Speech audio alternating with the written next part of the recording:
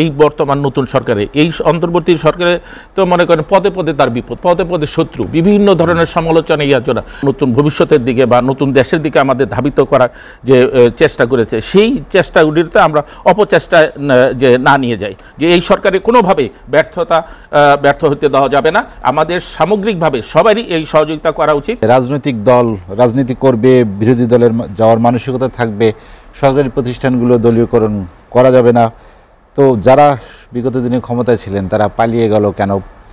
সেটি একটি প্রশ্ন তিনি রাখছেন। তার উত্তর যেমন দেবেন, পাশাপাশি আমি আস- যে এই সরকারের এই দু মাসের বেশি সময় কিছুদিন হলো, এখানে সংস্কারের গতি আপনি কেমন দেখছেন? যেটার জন্য ছাত্র জনতা রক্ত দিল, তার ফল আসলে কতটা হচ্ছে বা আশা করছি আমরা? ধন্যবাদ আপনাকে দর্শক এবং কলা কৌশল, তার সাথে আমার দুইজন বিশিষ্ট আলোচক আছেন এবং আপনাকে স্বাগত, ধন্যবাদ জানিয়ে শুরু করতেছি। আল্লাহর নামে। অত্যন্ত গুরুত্বপূর্ণ প্রশ্ন যে সংস্কারের ব্যাপারটা। আসলে সংস্কারের ব্যাপারটা তো আপনার মাত্র ওনারা গত আট তারিখে অক্টোবর আট তারিখে দুই মাস পূর্ণ হয় আর কি। তো আপনি যদি ধরেন যে তর্কের খাতিরেও যদি ছয়টা সাতটা মন্ত্রণালয় নিয়ে কাজ শুরু হয়েছে ওনাদের সময় দিয়েছে মনে হয় নব্বই দিন। নব্বই দিনের মধ্যে ওনারা প্রতিবেদন বা ইয়ে জমা দিবে। সুপারিশগুলো জমা জমা দেবে সেখান থেকে কাটসাট করা হবে এবং কিছু আপনার যাদের দায়িত্ব দেওয়া হয়েছে, তাদের মধ্যে আপনার কিছু নিয়োগ দেওয়া হয়েছে বাদ দেওয়া হয়েছে। বিভিন্ন যেটা মনে করে যার সভাপতি ওইখানে বানানো হয়েছে, উনি এটা ভালো বুঝবেন। তবে আমি মনে করি কাজ থেমে নাই। কাজ কাজ তার নিজস্ব গতিতেই চলতেছে।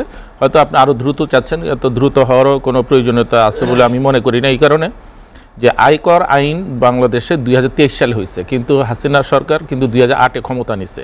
ক্ষমতা নেওয়ার পরে দুই হাজার বারো সালে ট্যাক্স লটা ভ্যাট আইনটা দুই হাজার বারো সালে পূর্ণাঙ্গভাবে পার্লামেন্টে উত্থাপন হয়েছিল কিন্তু কোনো কারণে সেটা আবার ক্যান্সেল হয়ে যায়। হয়ে যে দুই হাজার সতেরো সালে ভ্যাট আইনটা পাস হয়। তাহলে আপনি যদি ধরেন যে তেইশ সালে যদি পাস হয় তার মানে চোদ্দ বছর যদি একটা আইন তৈরি করতে লাগে এবং আইন কমিশন ছাড়া তারা তৈরি করছে বিভিন্ন ইয়ে ট্যাক্স ডিপার্টমেন্টের মেম্বার চেয়ারম্যান দেওয়া এবং কমিশনের মাধ্যমে তাহলে সেই ক্ষেত্রে আপনি এখন এই বর্তমান নতুন সরকারে এই অন্তর্বর্তী সরকারে তো মনে করেন পদে পদে তার বিপদ পদে পদে শত্রু বিভিন্ন ধরনের সমালোচনা ইয়ার জন্য সব কিছু বাদই দেন। এই বর্তমান সরকার যদি আপনি তর্কের খাতিরে ধরেন ডিমের দাম বাড়ছে একমাত্র সিন্ডিকেট সিন্ডিকেট বলছে যে স্বরাষ্ট্র মন্ত্রণালয় থেকে জানানো হয়েছে যে পূজার পরে এটা ভাঙ্গা হবে।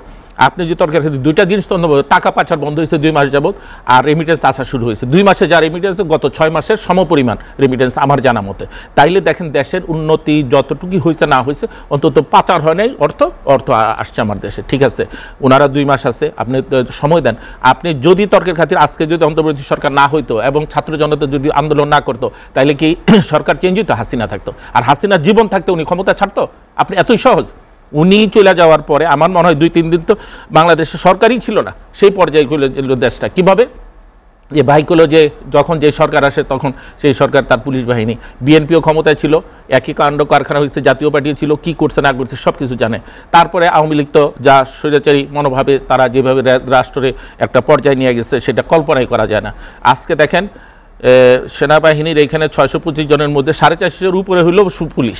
তার মানে পুলিশের অপকর্মটা সবচেয়ে বেশি ছিল এবং Hasina prime minister ex prime minister সে ডিপেন্ডেন্ট ছিল পুলিশের উপর এবং এই পুলিশের দ্বারাই সব কিছু উনি করার কারণেই এই যে আপনার বেঞ্জির হতে শুরু করে আপনার যে ভাতের হোটেল ওই যে ডিবির হারুন, তারপরে আছে সলিমুদ্দি কলিমুদ্দির তো অভাব নাই নামের পেতি নেতাও দেখা যায় যে প্রমোটেড অফিসার সে বিশেষ ক্যাডারও না, তারও দেখা যায় যে কয়েক হাজার একর জমির মালিক হয়ে গেছে।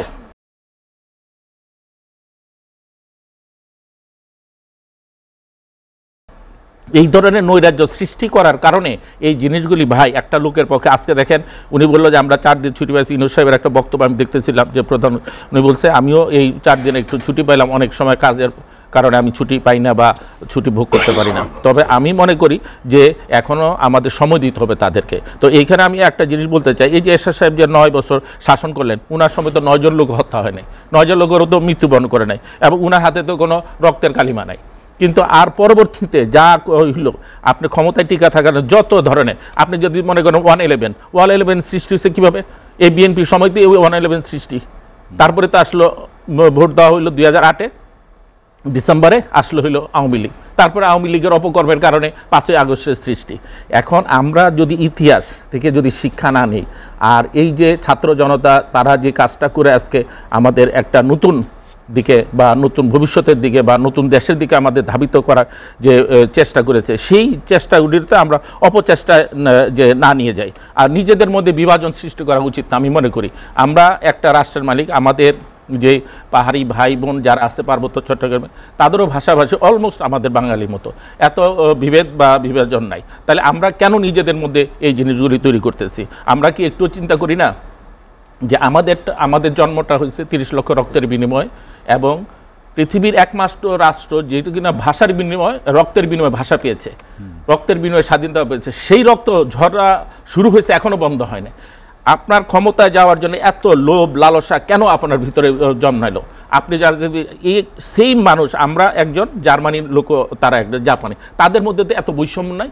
এত আজকে ভাই করল যে জেলে জেলে আপনার যেভাবে টর্চার রয়েছে তিন শিফটে মানুষ ইয়া করা হয়। রাত যাপন করা হয়। আপনার মাছ যেমন মাথা, লেজ লেজ মাথা, মানুষের গায়ের সাথে, মানুষ এমনি গরমে অস্থির। তারপরে ফ্যানের নাই, কোনো কিছু নাই, তারপরে ওই যে সিসি ক্যামেরা বসায় রাখছে। এই সিসি ক্যামেরা বিএনপির সময় এরশাদ সাহেবের টয়লেটও বসানো হয়েছিল। তো যাই হোক, এগুলি আমরা অতীত মনে করি না, অতীত ভুলে যাই। আমরা সাথে সাথে, যার কারণে আমাদের পরিণতি ডে বাই ডে আমি মনে করি যে এই সরকারের কোনোভাবে ব্যর্থতা ব্যর্থ হতে দেওয়া যাবে না। আমাদের সামগ্রিকভাবে সবারই এই সহযোগিতা করা উচিত। জামাত বিএনপি জাতীয় পার্টি যাই বলেন না কেন সবাই এগিয়ে আসতে হবে এবং আপনার এই জিনিসগুলি সুন্দরভাবে যেন ওনারা করতে পারে সেই সময়টা অন্তত দিতে হবে।